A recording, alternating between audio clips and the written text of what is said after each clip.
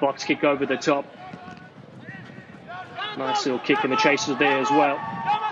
Lovely little breakout straight away. Turn van Spandorp.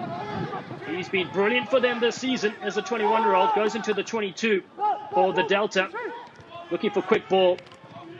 Van Belkom spins it around in the outside centre. Danny Lemon has possession. It's a little loose there, but still Delta pick it up to recycle. Rick van Belkom, the 28 year old, the veteran of the side, eight international caps he has as they go to the line yet again.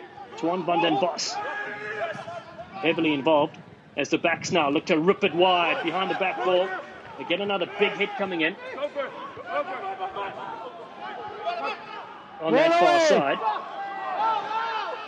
It has come the way of Brussels Devils, but they have a penalty against them here with advantage for the Delta down the short side. They work back on the inside, putting work to Bombers. And offload is there as well. It's the opening try in this clash. It's simply sensational from the Delta as they fire one in. It was something to behold here in the Super Cup. Brilliant bit of work as they bash in for the first five. It was